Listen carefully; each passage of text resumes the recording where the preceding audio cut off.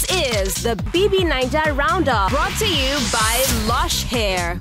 Well, Phyna has been trending um, for good reason. Hmm. I remember she was put up for eviction and she's come out to, you know, should I say, respond to the idea of her being nominated for eviction. This is her second time around.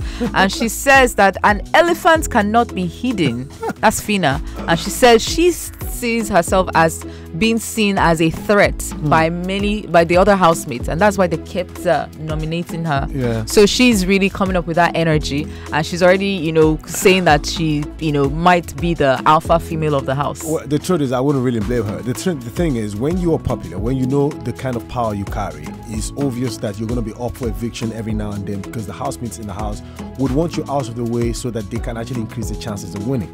So I think her coming out to say this has registered a very, very clear indication that she's really there to stay.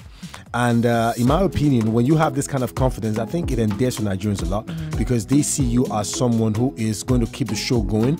Because obviously, your presence is what is going to make people But here's watch the, the here's show. here's here's and- drawback. yeah. Here's drawback. When people notice that you're shining too of much, yourself? you're no, no, like shining too much. People Yeah. are noticing you too much in the house. Yeah. I mean, they, I mean, you've seen that they've put her on nomin- I mean, on the nomination list. Mm-hmm. Now, the strategy should it be to withdraw a little so that you don't end up being nominated again, Yeah. or not care about it and just keep on being you? See, if you withdraw a little, there's a tendency that you might drop on your strength of what really brought you into the house in the 1st place. Mm-hmm. The moment Nigerian starts feeling that you're slacking and you're losing the steam, they will They'll they'll turn they'll turn away from you. All right. So I don't think she, don't have she wouldn't want to do that. Won't go if it don't. Oh, no. 102.3. Max FM. This is the BBNaija Roundup brought to you by Lush Hair.